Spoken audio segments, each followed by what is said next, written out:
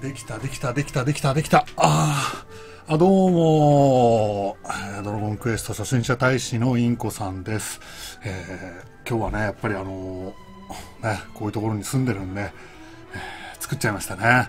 はい。やっぱりね、あの、料理をさ、こうして、え、作ってね、うん、いただけるっていう嬉しさがさ、こうありますよ、これ。うん。これ初めてね、やってみたんだけど、これどうかな？大丈夫かなこれ？うん。うん。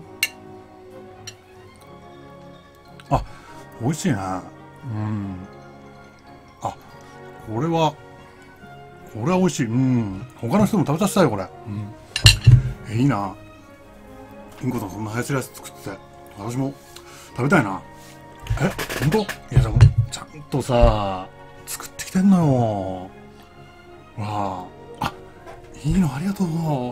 え、私も食べたいよ、そんなの。もう2食目だけど。え？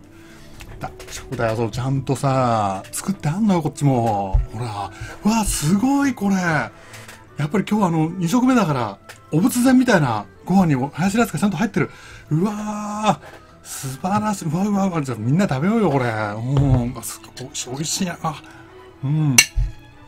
これ美味しい。やっぱりちょっと食べてみようみんな。ほんとちょっとごめんなさい。ここ、あの、スプーンがないからもう、フォークになっちゃう。え、本当に美味しいのかなこれ？はい。あ、あ、美味しい。うん。これすごい。あ、これすごいね。私は、私は、あ、私あの、あ、もうないからもうスパチュラ食べちゃう。スパチュラ。スパチュラってヘラか。すげえ、これ、え、あ、うん。うわ、そっか、うわ、まじこれなんだこれ？う、うえま、ま、な、すげなんだこれ、これ、これ、これに、なんか変なものがついてるのか、これ。う、う、うえうわあってなるといいな。ああ、本当に。まあちょっと5期初心者大使の、えー、タイムシフトを見ててね。うん。そのドラハのあまりの羨ましさに、はい、まあ見てない方にはちょっとよくわからないことをしてしまったんですけども、はい。いやー、なんかね、その、まあ、初心者たちはドラ派でね、まあ、あの、部屋は分かれてるんだけどもね、こうやってまあ、お互いがこう、ご近所みたいな感じで行き来し合えるみたいな、なったんですよ。5期初心者大使がドラ派ドラ派って言って。ただ、この間、その、まあ、枠も始まってね、で、松川さん、えー、名前がキュマールさんね、えー、キュマールさんがね、そのなんか、お手製のハヤシラスを作って他の人に振る舞うという、はい、という放送をね、見たんですよ。でね、まあまあ我々もまあ、もう本当テンション上がっちゃってね、あこれだ、これだ、みたいなこと言いながら、うん。いや、びっくりびっくりですよ。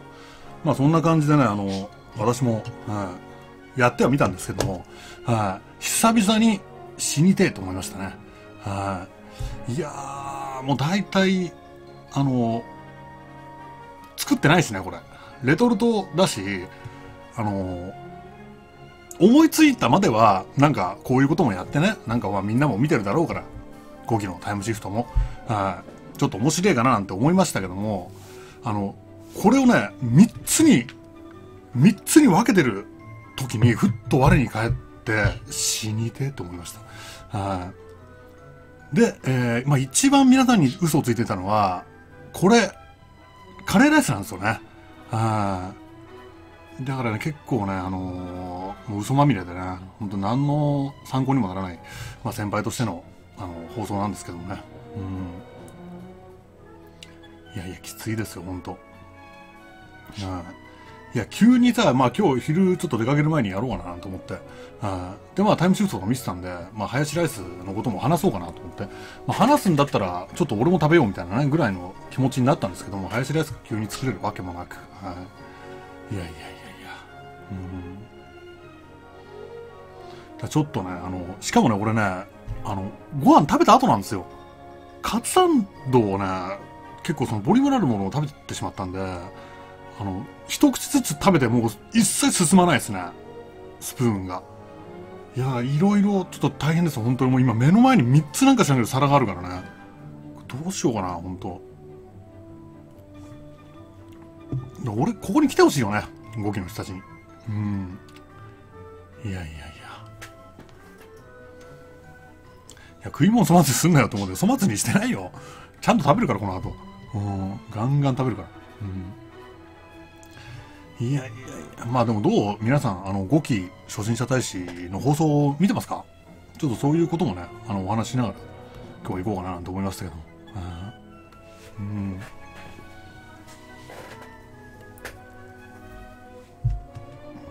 全然入れない。あ、入れない。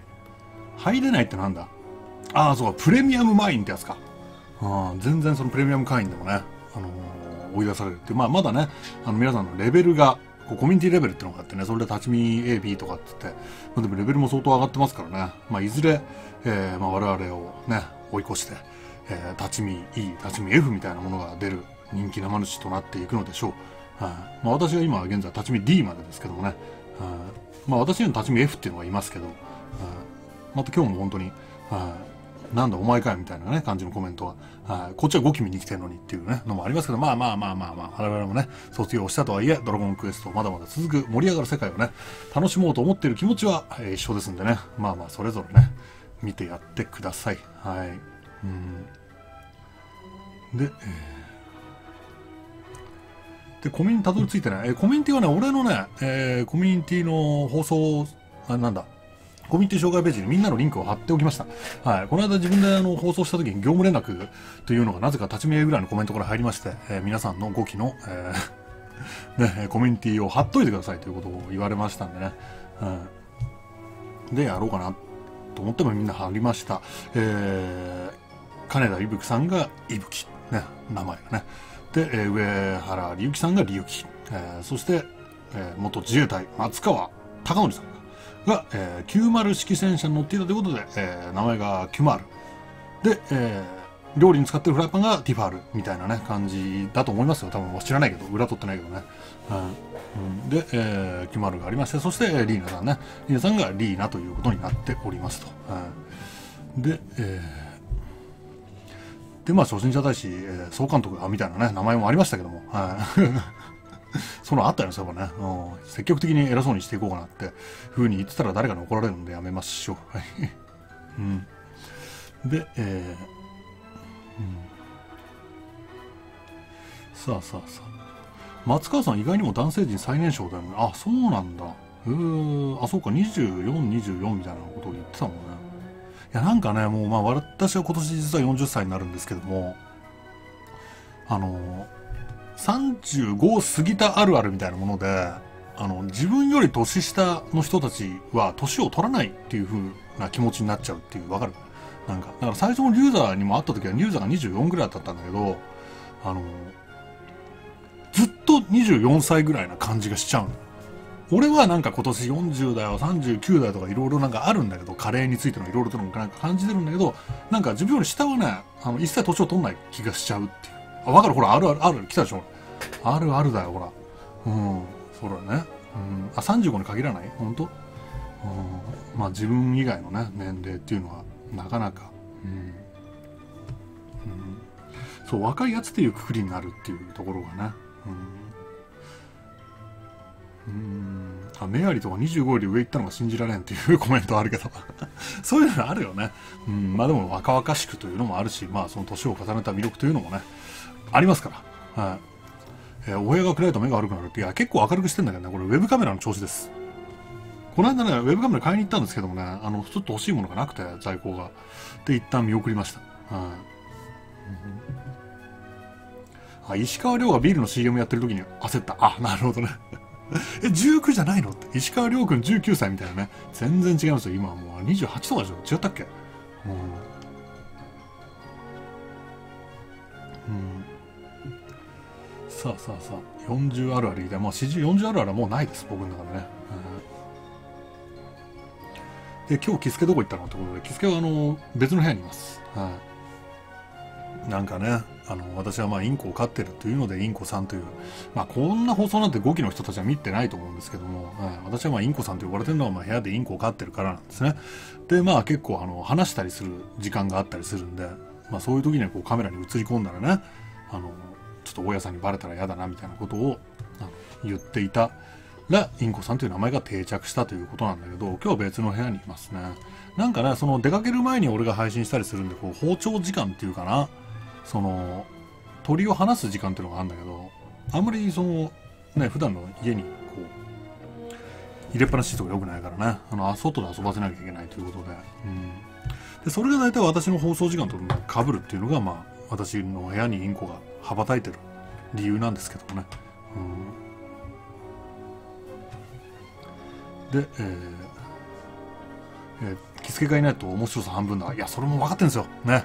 これ本当にね、私もまあ、ナム主始めて2年ぐらい経ちまして、はい。まあ、やっぱり動物には勝てないなというね、あの、ハムケツハムケツみたいな、この、あの、ハムクツァのお尻を見たりね、うさケツみたいなものがあるけど、まあ、ああいうものをね、私がいくら言葉を尽くしても、えー、まあ、ハムケツ、インケツ、えー、インケツっていうとね、あの、大磯株みたいですけどね、ハムケツ、うさケツのこう、魅力には多分抗えないんじゃないのかなと思いましてね。だからまあ、そろそろね、私の自分のコミュニティチャンネルでもですね、まあ、ずっと鳥を映してるチャンネル、番組を立ち上げようかなと思って、で、労せずして、えー、コミュニティレベルとお気に入り登録者数をね、上げようかなという、そういう、あの、あざということを考えておりますんで。うん、それでまあ大体あの、ペタっていうね、あの、PA、PETA っていうあの動物愛護団体に怒られるまでがデフォルトとなっております。うん、まあでもなかなかね、うんまあ、時間帯があるからねやっぱりあの鳥は結構夜早くね寝かしつけないといかんというのがあります、うん、でもう本当に目の前のあのちょっとカレーカレーをさちょっとこのお仏前お仏前のカレーみたいなものだけ食べようか。うん。もうハヤシライスってもう言わないよカレーだ。ようん。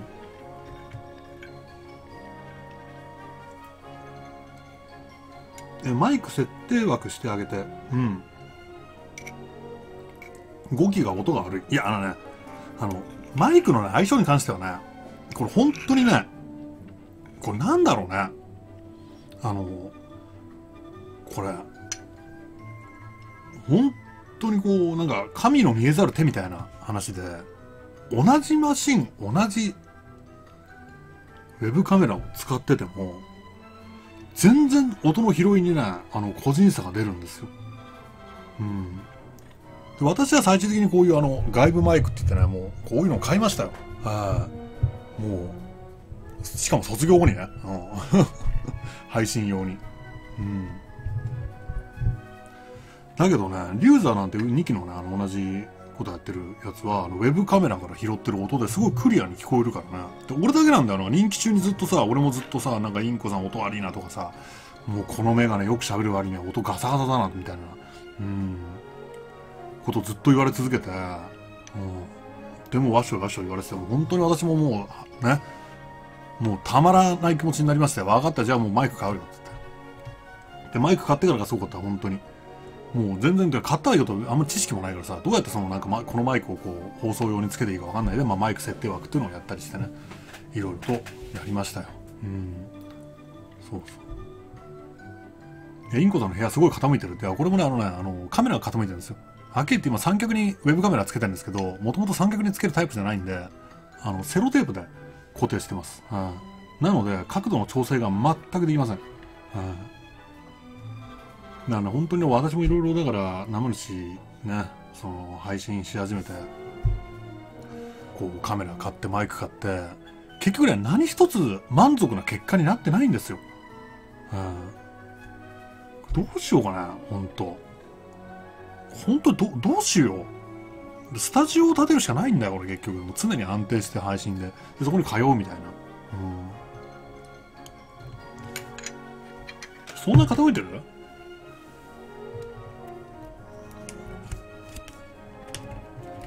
ダメだダメだ。ちょっと待って待って。これどう？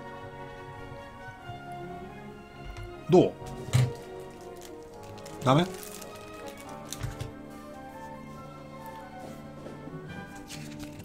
なんかこういうあのチラシみたいなものを挟んで厚みを調整します。ちょっと待って、厚みを調整するから待って。うん、はい、これは？ほんと。これ以上良くなったね。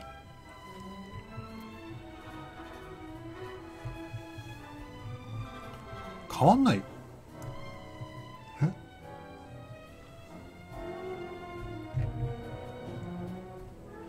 逆に入れてる？分かった分かった。こうこうどうどうだ？どう？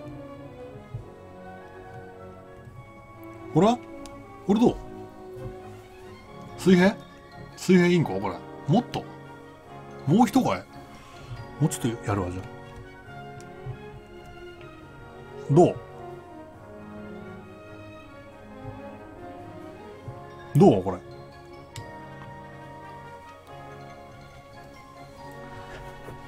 はい。同じレベル。いやもうこれ以上いけねえよこれ。え？いやこれまっすぐだよビー玉転がしてくれ違うビー玉転がしたってしょうがない。そのカメラの価格の問題だから。はい。うん。カメラが高い。カメラが高い。じゃあもうちょっともうちょっとこう、うん、机がまっすぐなカーテンが斜め。本当、うん、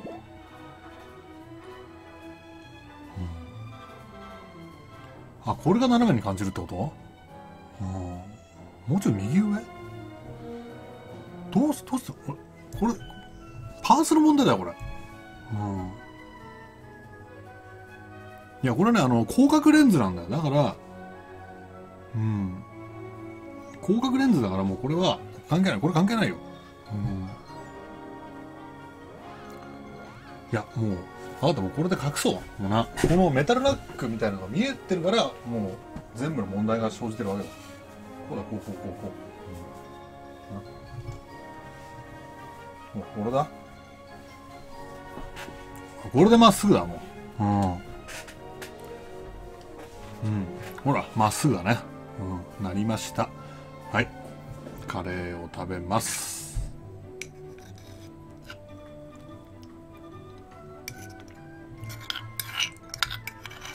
まあでも気になりだすと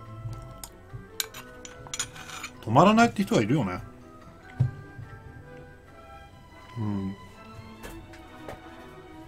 で何食べてるの？って方もいるけどそういう方はあのタイムシフトを、ね、お楽しみで。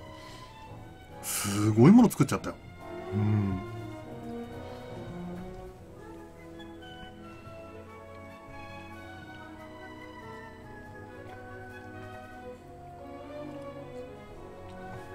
ん。で、えー、5期初心者大使のお話を、はい、しようかなと思っております。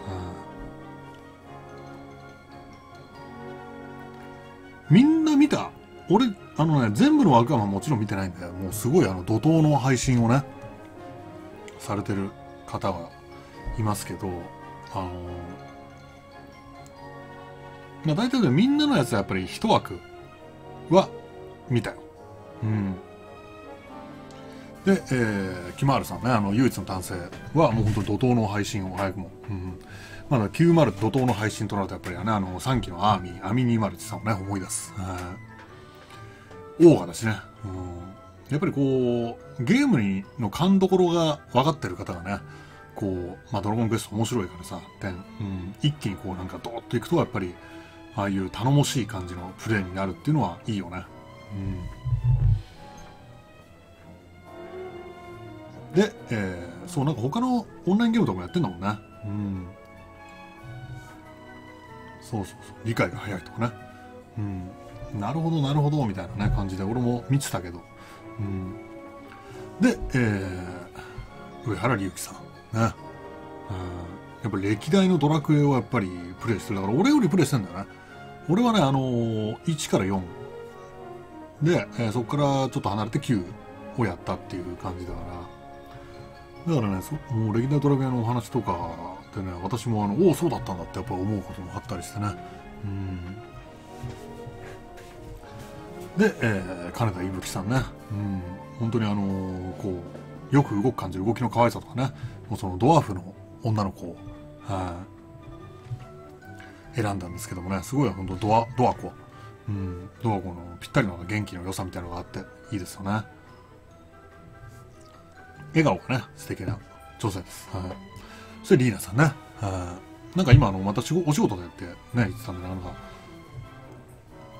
ね、大変そうですけど、まあ何せやっぱり4人いるからね、うん、やっぱりあの、初々しさ、もあるし、やっぱりねたまらないですよ。うん皆さん全員魅力的で、うん、で結局ほらなんつうの？あのゲームのすすめみたいなものがじゃあリーナさんがね今仕事から帰ってきてまた始めてさでまたもうハヤシライスとか持ってきてねキマールが。ね。うんちょっと俺があのいろいろ先導するぜみたいな。のでねあらみたいな。バカ野郎みたいなね、はい、そういう展開にあのなる、はい、これが楽しみですよね、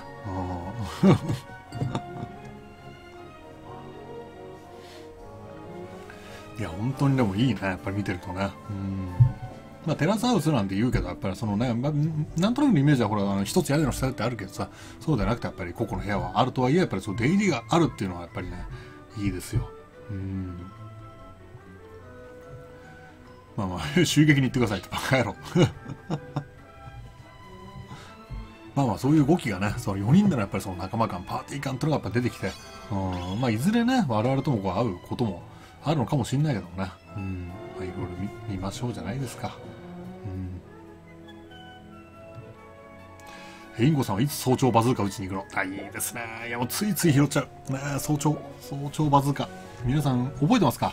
あ元気が出るテレビのね、人気企画、あの、寝起きドッキリっていうのがあってね、うん、いろんなタレントがこうなんか寝てる時にね、あの、早朝枕元でバズーカ砲を鳴らすっていう。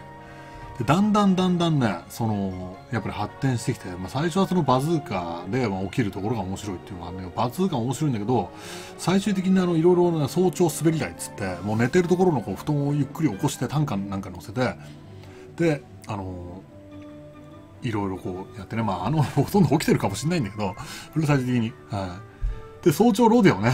そう、早朝ロデオ、俺も大好きだったのよ。で、最終的に早朝ロデオって、あの、なんか馬に乗せるっていうのがあるんだけど、なんかね、あの、ううまく馬に乗れないの当たり前だよ、寝てんだから。だから最終的にね、ミスター遅れさんが早朝ドッキリかけられた時に、あの、布団に綱をつけて馬に引かせるっていうね、早朝引き回しっていう感じの企画をやっててね、あれは本当に面白かったですね。うん。あれはやばいですよ。そうそうそう。えー、もう DQ10 は話すための口実だな、そんなことはないです。はい。この早朝シリーズからの、あの、はっきり言ってね、あの、ね、えー、アリーナのコメント。はい。私2年間やってますけども、実は最初にこのカレーが出てきたのも、全部あるんですよ。はい。これ本当に。ただそのあらましと、あの、つなぎまでのこう時間にこう私あの助走が書かれただけでで大体俺喋るんだったら好きに喋るあの自分のチャンネルも作ったからねはいこれがね出てくるってのは何かというとあの私、えー、サブキャラで調理職人をやってるんですけどもあの調理じゃないスパイスカレーっていうレシピがあってで考えてみればそんな大成功したことねえなと思ってね今日はだからそのスパイスカレーを作ってみようというそういう放送だったんですけどもあと5分しかないということで、はい、やめます、はい、もう手がけます、だから先ほどのアリーナの言ったコメントはまあある意味正しいですね、はい、話して終わり、はい、本当にこのメガネ何やってんだバカ野郎みたいな。今立ち見 F のコメント見るのは怖い。切り替えて見た。あーダメだ。俺はもともとこいつは信じてなかった。すいません。ただドラゴンクエスト10の世界、ね、たっぷり楽しみたいという気持ちは一緒です、はい、そこで延長させていただきましょう、はい、どうこのもったいつけた感じもともとやるけどね、はい、ということで、はいえー、やらせていただきますくるっつってね、やるやるもう1時間ちょっとは取ってるから時間。うん。ということでですね、あ、立ち見 C の方もいる。ありがとうございます。こちらも調理始めて頑張ってるよ。そうなんですよね。調理職人ね。あのー、もう、びっくりトマトが高かった時代は今も昔ということになっておりまして、今はもう安定してプラスの出る、そういう職人になりました。昔は調理職人ってやもう言っただけでね、お前そんな荒行みたいなこと言われましたけども、今はそうではありません。うん、でレベル解放というのもありまして全員が93に上がるつまりは経験値をもらえる料理の需要も高まっているということで、はい、すごくポイントが高いです。ね、うん、はい。ということで料理を作りに行きましょう、はい。え選手のレベルが53になってます、はい、オルフェア町オルフェアの西に行く。で、えー、食材が値上がりしてる。あ、そうなんだよな。調理職人は今でも序盤はきついよ。そう、序盤はね、職人はでも、やっぱ序盤はなんか、きついよね。なんか、あの、システムをつかめないまま、失敗を重ねて、あの、なんかはみ出したりしてね、それでやっと作ったものが150ゴールドとかね、何考えてんだっていうふうに思った方もいるかもしれないですけども、俺はこの調理のゲームそのものが大好きでね、あのよくやっております。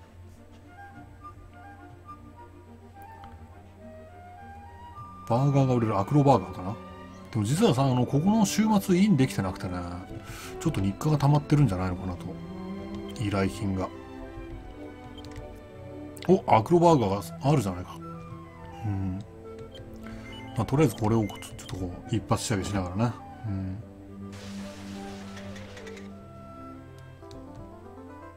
そう、調理はね、依頼が美味しいってのがあって、ね、そう、依頼でね、結構その5万ゴールドとかちょいちょいこの赤の依頼が来るんですよね。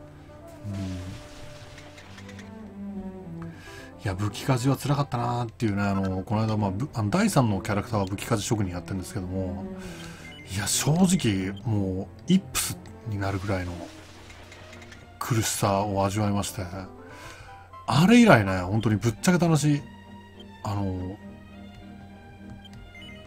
ちょっと一発仕上げぐらいしかしてないんですよね。そんなそんなにやってない。で、ここのとこその荒行配信が続いてまして、前回はまあ、あの、メインのキャラクターインコさんでね。うん。達人クエストをクリアするっていうのがもう3時間近くかかってね。もうひどい目にありましたけども。まったりやりたいんですよ。でもまったりやるためにこの、まあ一番まったり私の中ではしてあるこの、ね、調理職人ということで、いこうかなと思っております。うん、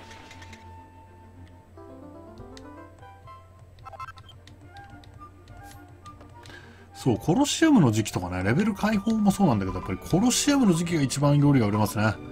うん。もう選手にも観客にも料理が売れるという、素晴らしい時期があるんですけどもね。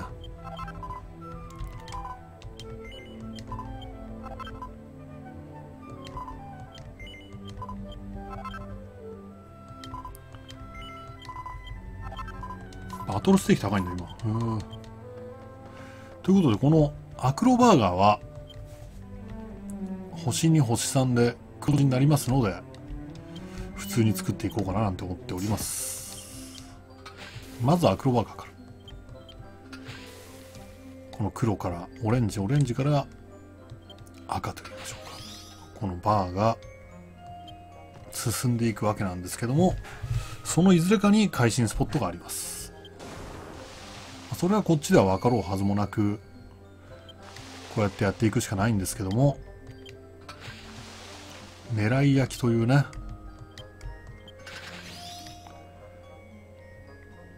技があれば見事その場所に止めることができるかもしれない。まさにここです。狙い焼きというのは通常の倍の力が出る。当たればね。うん、そしてスイートスポットに見事ビタ止まりするという技であります。でもそれはほぼ運です。はい、で、今この一つのマスの火力と回心率がアップしてるこの時に、この一発狙いでギリギリまでペカればスイートスポットに止まるというような位置で狙い役。これが調理の気持ちよさ。はい !33 確定です。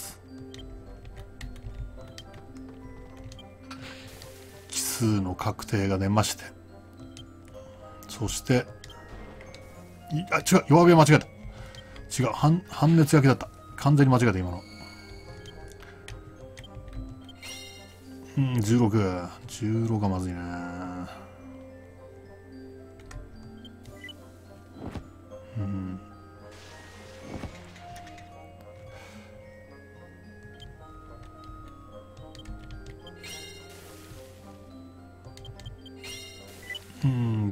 届かない。最終的に。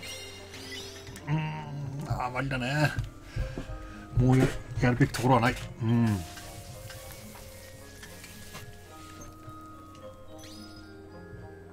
うん。星が来ての2ですよ、うん、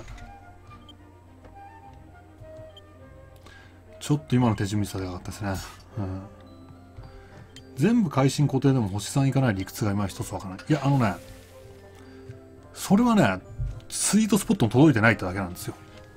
で、会心で2列目に、この、黄色から赤に入りますと、固定されてしまうんですよ。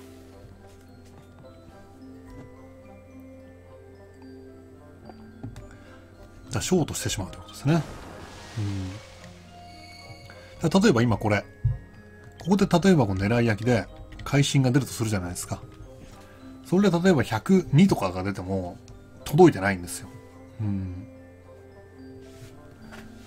もっと奥の方にあったはずの会心スポットに届かないまま会心が固定されてしまう。これが偽会心と呼ばれるゆえんであります。でちなみにこういう時はダブル縦返しでこっちを先にやっときます。そうすることによってここで1狙いができる。入らなかったら混ぜ合わせてもう一回今度はここで狙える。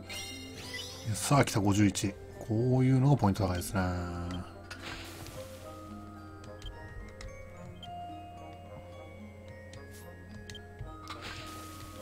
さあ再びダブル縦返しをここに入れてここ。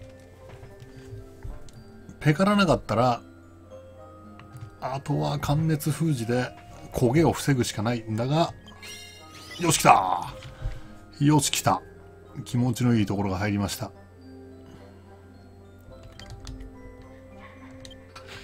そうして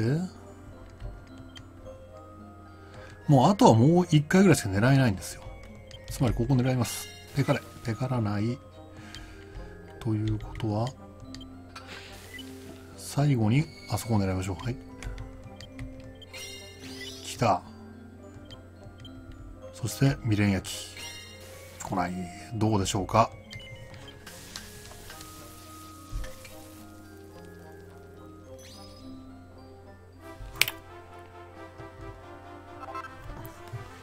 さあ来ましたね。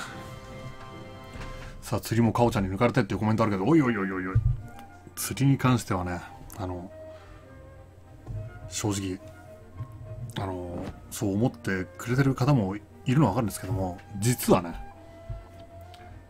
2期スタート期に釣り勝負を2期の間でして布の子さんに私は負けてるんですよ。はい、だから本当にみんなの間で釣りといえばインコさんって言っていただけるのはありがたいんですが、はい、実は私釣りの実力に関しては2期の中でも最弱。はい。そうなんです、はい、ただそれはあくまでインコさん。はい。ここからがポイントです。はい。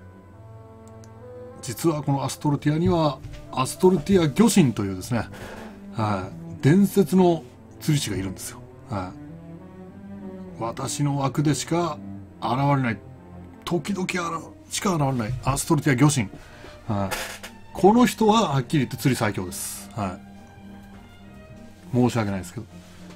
まあ私のライブとかね私のイベントとか来ていただける、えー、セリカさんっていう方がいるんですけどもその方はあの釣り全種類全キングサイズをコンプリートしてるというね凄まじい釣り師なんですけどその方もアストルティア魚神には魚神さんには及びませんよ。っていうふうにやっぱり言ってくださってるんだね。はい、事実上のチャンピオンはストルティア魚神です。はい。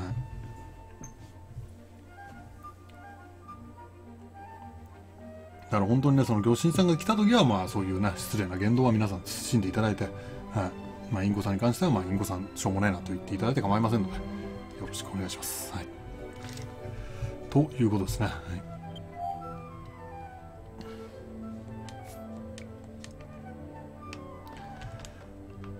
ということで、アクロバーガーでも、アクロバーガーはね、あの、星1ができるまで別に作ってていいんですよ。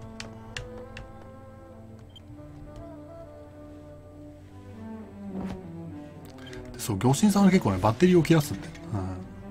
まあ、後で作ります。ということで、スパイスカレーに行きましょう。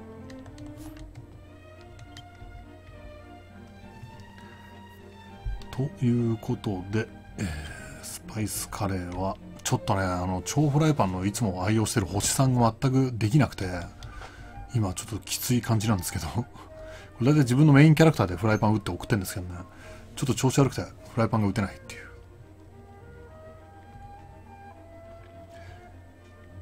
で、俺でもね、その、アストルティアの中では釣り、あの、結構釣りの種類やってんだけどね、あとはその、ストーリーパワーが溜まってね、その、なんか別の世界に行かないと、こう釣れない魚がいるっていうんで、それが今大変なんですよね。うん。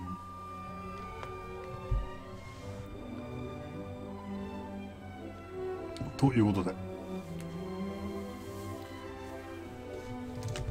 だ本ここのパスタライスのスパイスカレーこれですよ霜降りミートが3ライスフラワーが6トマトが4つ点々みたいな感じなんでこのトマトが一時は5000ゴールド6000ゴールドになってた時もあったんです今は大体1000ゴールドちょっとなんで、うん、だからまあ4000、えー、4000、8016ビリ辛ペッパーが500、8000、1万、1万6636、1万4000、えー、まあ大体約1万6000ゴールドぐらいではないのかと、原価は。うん。さあ行きましょう。また上がった今。本当そう、ムービー配信 OK になったしね。うん。いや、本当いよいよ、あの、ストーリーパワーも溜まってきましたんで、うん。行こうかなと思っておりますが、さあ行きましょう。スパイスカレー。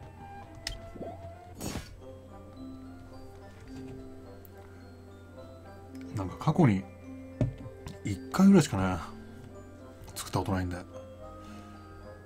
まあ、とりあえずちょっと特性を思い出すためにも、ん？あ、そうか、次か。次で何が出るんだ？ああ、これか。はあはあはあはあ。ああ、なるほどね。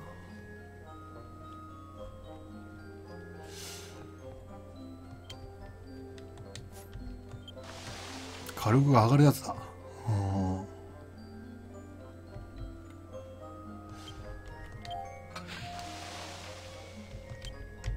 ここはギリで狙っていきたい。うん、ペからね。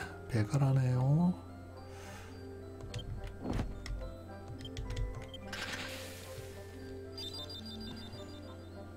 うん。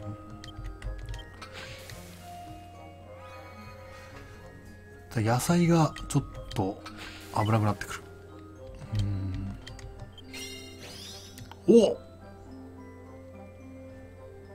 そうきたか。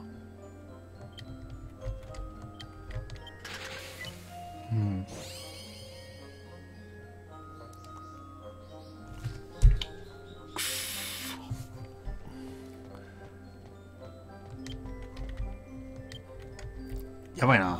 うん。焦げ角か。こっちだ。そっちは焦げてもいい。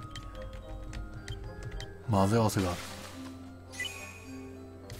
野生の会心来ねえか。次で橋が？またあれすんじゃなかったっけ？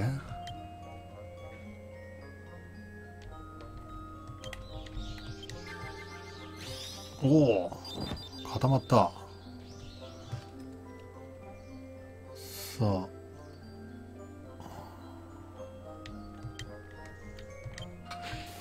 うん。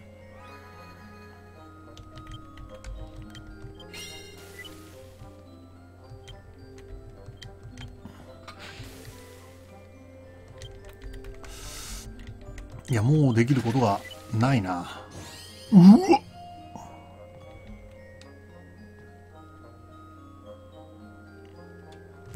仕上げるしかない。もう仕上げよう。うん。これは1うん。特性はつかみました。うん。そうだな。2回目の火力アップで会心焼きを狙えるように調節。それだわ。えー、っと十字に焼けるってことだな最初にな。で積極的にこの米を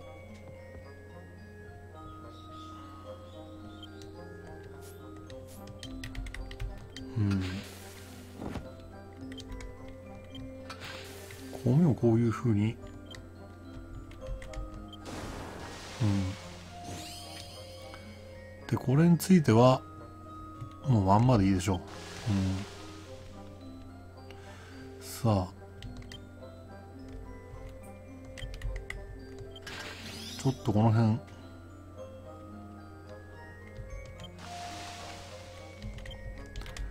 こで止めておく。よし来た。さあそこから。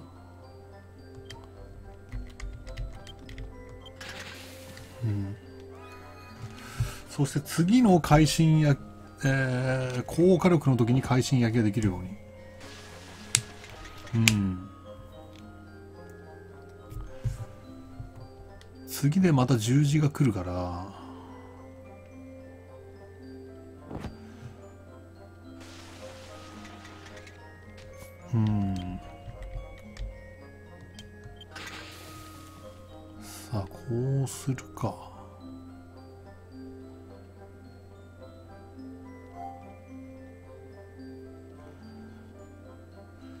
野菜を斜め下に入れていきたい。こうだよな。うん。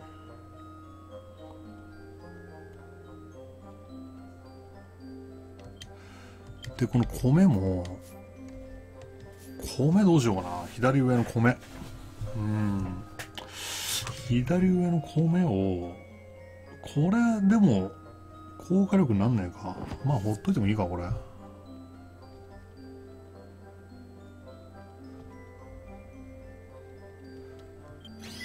おおここで海進焼きいくか。ピタリ。そしてレベルアップ。誰かのレベルアップおめでとうございます。でまた次の次の次で、えー、今度は戻りが入ります。肉を戻らせたくない。めんどくせえもんな。肉戻らせるとね。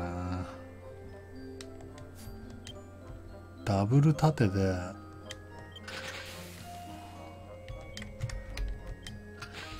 うわお。ここが、ペカレ。ペカラね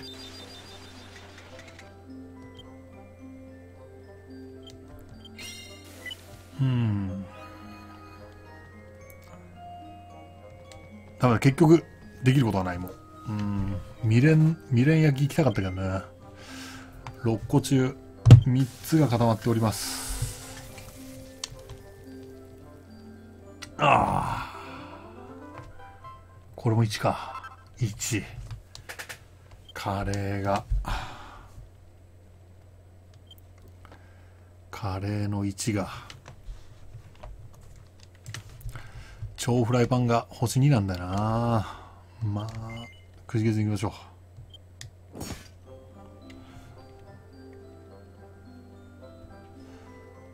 う。うん。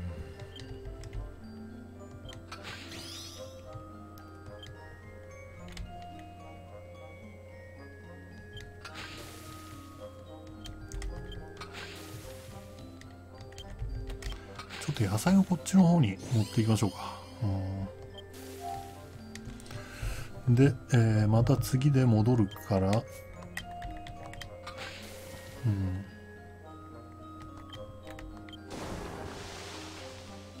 ここをね、もう入れておきたいんだよな。よし、来たで、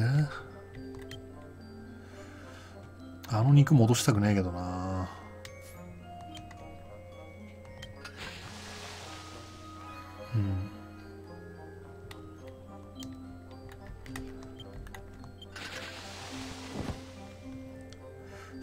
次で会心野球まで狙いたい。そんなインコであります。うん。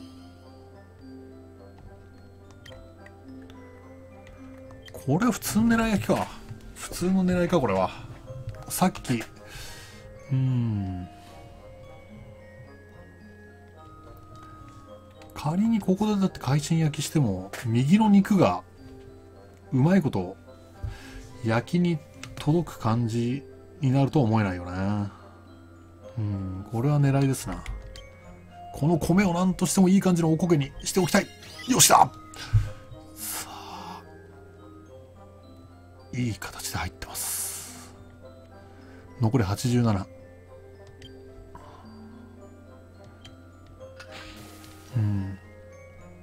次の次の次で戻ります。あの焦げは意識しなくていいような気がする。一応半熱を入れておく。うんこういうことか。ここなんとしてもだからね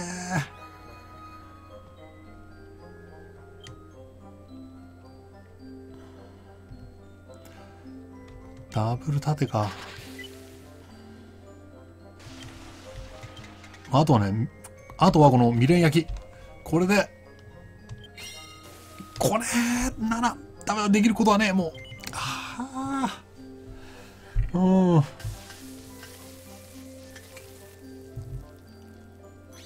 からの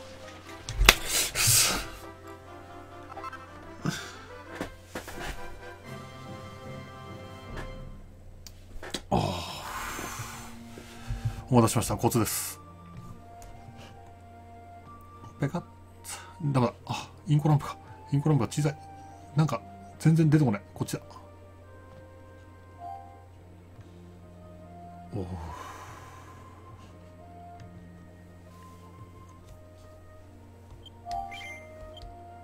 時間差できましたけどね。ああ。いやーでも結構きつかったね。うん。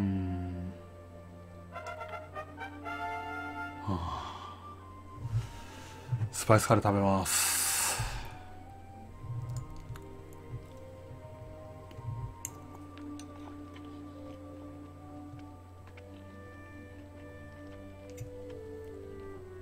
うん。ぬるい。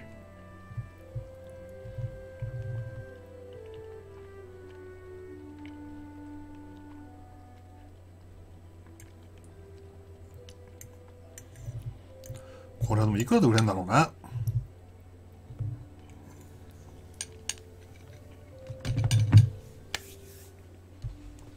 の人は何食ってもまずそうな顔する。そんなことない。そんなことないよ。俺ケーブルテレビで食レポやってたんだから。うん。もういやこのいぶりがっこはコリコリみたいなことやってたんだから全然大丈夫よ。でえー、ちょっと売りに行くか。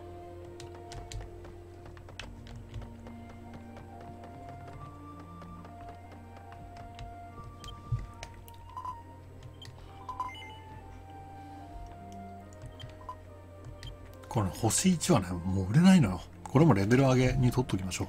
ちなみにアクロバーガー。39,930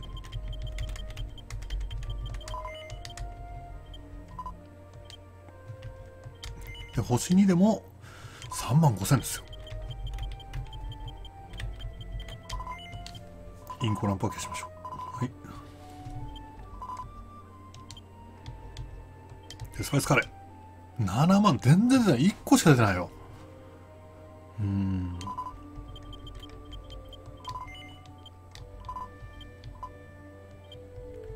ちなみに星1 5000あそれ5700いやでもあんま売れそうないね。うん。カレーブームだね。仕草書もじもじも。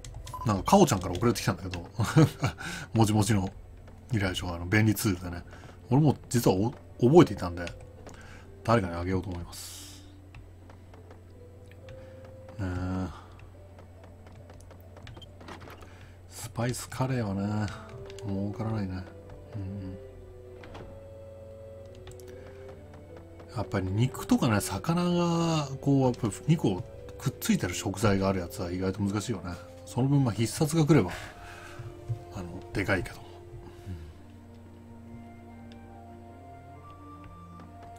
インコロボ覚えてるかな、うん、インコロボはまあロボットだからな第3のキャラクターは。あまりもじもじしないからそこは。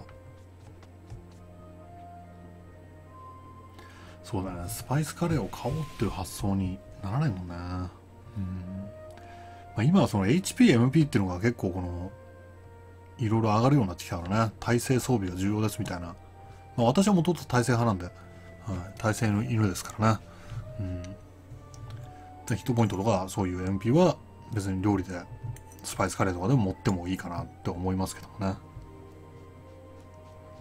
うん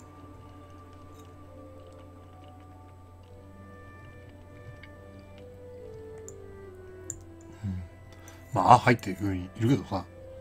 でも結構俺、体制は装備しっかりしてんのよ。最近でも戦士を育ててるからね。なんかよくわからない、あの、魔法の鎧とかを着てるけど、いざ自分でがっちり装備を買うときは、結構しっかりやってます。は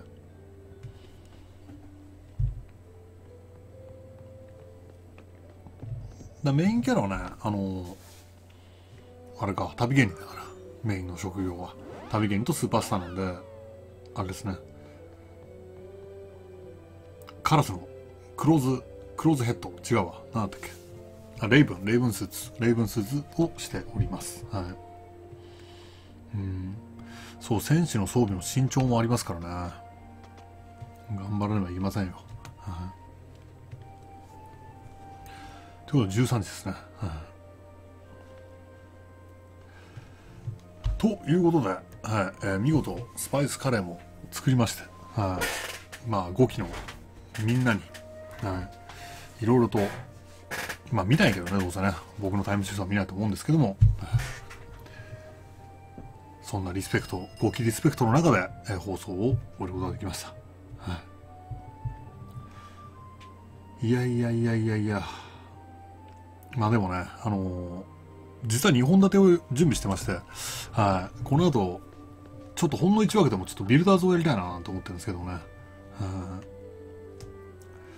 ビルダーズがうまいこと決まれば、やりたいなと思ってます。起動できるか。ビルダーズでもカレー食べてたら全然怒られるんで、はい、ただもう出かける時間のそのなんかギリギリの攻防戦みたいになってますね。はい。明日するか。ちょっと。うん。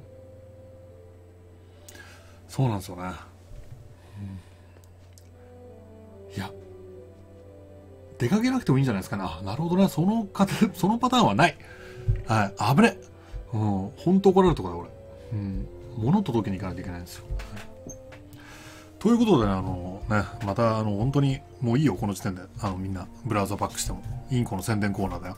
はい、ね、またかと思うでしょ。お前このためにやってんのかよ。ね、舐めてんのか、ドラクエよっていうふうに思うでしょ。そんなことないんです。はい、みんなと一緒にゲームして、プレイして、えー、まあ、楽しいことをを共有したら、私のね、普段こいつ本当にゲームしかやってねえのかなって思われるのも尺ですから、えー、普段の仕事も アピールしとくということです。はい。でね、あのこれね、絵と文の作家、リタジェとしての仕事なんですけど、えー、3月9日からですね、あの、銀座の松屋っていう、あの、牛丼の方じゃない、デパートの方の松屋さんでの8階でですね、はい。それで、えー、三条のキャラクター、ポムポムプリン大好き店っていうのがあるんですよ。ね、有名なキャラクターのポムポムプリンね。えー、これに私もあの、参加しております。はい。で、3月9日から14日、えー、いろんなアーティストがですね、あの、ポンポンプリンを、えー、書くという。なんかね、あの、そういうコーナーに各アーティストのポンポンプリンということで私、リタジェも参加しておりますよ。はい。うん、これは入場料がね、かかるんですよ。はい。入場料一般500円って書いてますけどもね、ぜひあの、20周年を迎えるポンポンプリンのね、こういうあの良さを再発見していただけると思います。えー、ハムケツ、ウザケツの話もね、出ましたんで、最後はポムケツで、はい。そのケツもありますんでね。で、私はこれね、絵を描くっていうかね、そのなんかね、まあ言っていいのかな、まあ大丈夫だろう、あさってだから。なんかこの、ポンポンプリンの、プリンの人形にいろんな色をかいあのつけたりするっていうので、あの、リタジェバージョンみたいな感じでやりましたんで。はい。これが9日から14日まで、よかったら、えー見に行ってやってください。はい。うん。えーおっさんだけど言っていいですか？いいでしょう。はい。そうなんですよね。うん。うんまあ前回もね、その、まあ前はなんかマイメロディーの展示とかでいろんなアーティストがマイメロディーのフィギュアにっていうのもあったんで、そのポンポンプリンみたいなことでございますと。はい。うん。で、えー、で、明日はね、バームクーヘンナイトっていうあの、バームクーヘンね、お菓子のバームクーヘンを一本丸ごとドカンと持ってきて、でそれを切り分けながら語るっていう、そういう、あの、イベントがありますんで、はいそれの司会をさせていただきます。はい。なんか神保町でやりますんでね。もう、食べまくれますよ。バームクーヘンを。はい。そう、また前回やったんですけど、ね、何ヶ月か前に。うん。で、リズとベッティとか来てもらってね。うん。そう、変なイベントなんですよ、本当に。もうなんかバームクーヘンがドカーンとあって、それを切り分けながらなんかね、いや、美味しいですねとか言いながら、結構2時間それで持ったりするんですよ。はい。コーヒー飲みながら、いや、美味しいですね、バームクーヘンいかがですか？っつって。うん。楽しいイベントですよ。うん。で、今度はなんかスイーツ番長っていうね、あのスイーツ食べ歩きの方、モサが来られたりとかね、ゲストもいろいろ、あの、豪華ですんで、ぜひ来てください。そして3月12日は、つくもで作るでしょ。はい。いつもね、もうほぼ準レギュラーのような形でお世話になってますけども、今回なんと、ゲスト MC という、あのね、私、芸人生活、ね、コメディアンとしていろいろと長いですけども、えーゲスト MC っていう肩書きって初めてですね。あれなんかすごく自分の中で新鮮だったんで。ゲストなのか MC なのか。ゲストなのか MC なのか MC なのかゲストなのか。わからない状態ですけども、メインの MC は山下真美さんというね、声優のね、女の子がいますんで、声優の方がね、はい、一緒に楽しくやっていこうと思います。そしてゲストは、我々の世代ではおなじみの高橋名人。ねえ。来てくれますよ、高橋名人。僕も実は一回会ったことあるんですよ。うん。高橋名人と立ち話をするっていうゲーム雑誌の企画があって、新宿で立ち話をしたということがあったんですけども、えー高橋名人が果たしてそれを覚えているのか、私、私との立ち話を。はいその多分覚えてないんでしょう。はいそういうことを、えーね、いろいろ話していこうという番組であります。これ、ね、観覧無料ですよ。3月12日、秋葉原でやりますんでね、よかったら、えーつくもで作る女とかね、作る女とかで作る女、よかったらツイッターとかで検索してみてください。はい。で、その次の